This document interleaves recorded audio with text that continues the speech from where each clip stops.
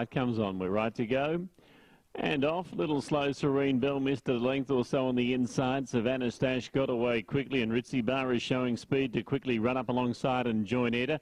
Isn't Life Strange is going to settle in third, two lengths away with Mornington Lad the outside fourth and a length and a half to Serene Bell who's last. Havana Stash on the inside and Ritzy Bar going quickly down toward the 600 metres. Three lengths ahead of it isn't Life Strange who's running into a clear third now from Mornington Lad and two off last is Serene Bell. Up to the turn near the 400 metres and Havana Stash about a half to three quarters in front.